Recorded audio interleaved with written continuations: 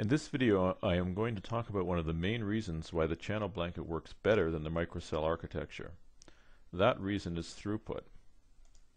In the previous video, The Problems with Microcell Part 1, we discussed a typical microcell deployment with 9 APs.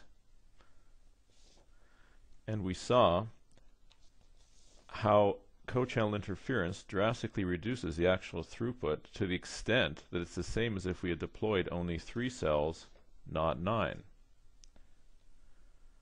So we were left with 3 channels of capacity or even less, taking into account contention losses. In this video I am going to talk about how Extricom's channel blanket technology eliminates co-channel interference and yields vastly improved throughput in comparison to the microcell architecture. In this video we'll focus on the 2.4 GHz band and in a subsequent video we'll take a closer look at the 5 GHz band. So let's get to it.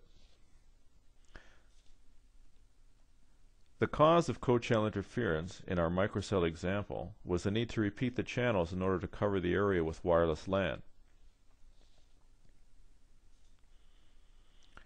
In the Extricom channel blanket there are effectively no cells. That's because each cell is run on the same channel. Because in this architecture we can run the APs at maximum power, or move them closer together without fear of co-channel interference, the result is a smooth blanket of wireless LAN coverage. However, as I mentioned in the previous video, in the microcell architecture separate channels are needed to increase wireless LAN throughput. With only one channel in a channel blanket, haven't we created one big collision domain? Isn't this what we were trying to avoid? Well, the answer is that with microcell technology you shouldn't try this, but Extricom's technology is built to run the cells on a single channel and do so exceedingly well.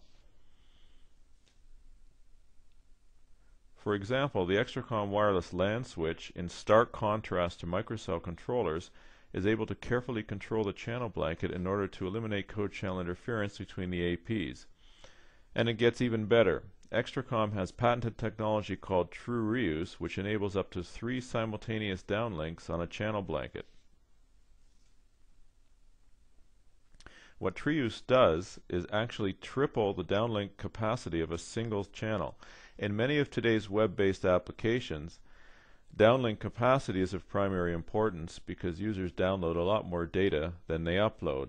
Nevertheless, Extricom also has addressed uplink capacity with a feature we call natural reuse. Natural reuse enables up to three simultaneous uplinks on a single channel blanket. So with efficient reuse of just one channel, Extricom achieves the same uplink and downlink capacity as the 3-channel 9AP microcell deployment that we discussed earlier. And now let's add channels 1 and 6 to the Extricom deployment. The way we add channels 1 and 6 is by activating two more radios inside Extricom's multi-radio AP. In our use case, we are deploying the EXRP30N which is shown on the left side of the slide.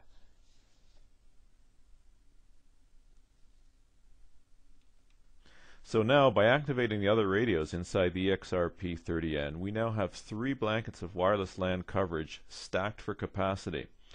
Each blanket is operated by a different radio in the access point, ensuring that there is no contention between the blankets at any time. Factoring in re true reuse and natural reuse with three blankets of coverage, we can support nine simultaneous wireless transmissions, and that's within the relatively restrictive 2.4 GHz band. The 5 GHz band opens up the option of running up to four channel blankets in parallel.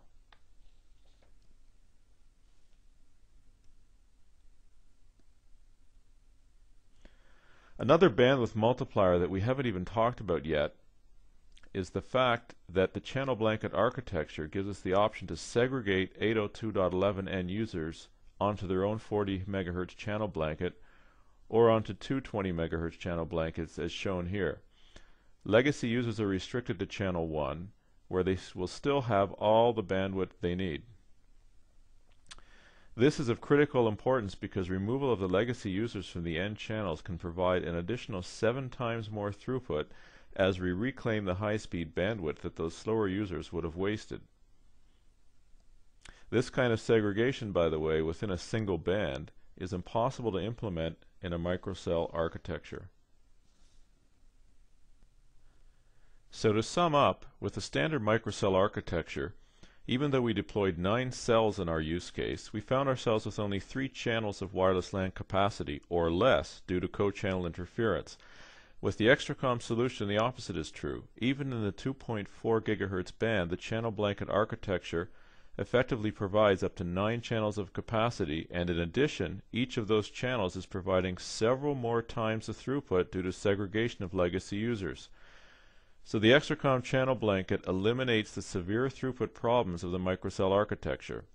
The Extricom solution provides the kind of bandwidth that the school in our use case was looking for in the first place.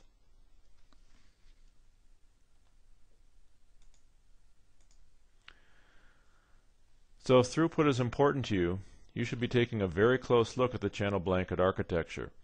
As we've shown, when it comes to throughput, the channel blanket simply works better than the standard microcell architecture.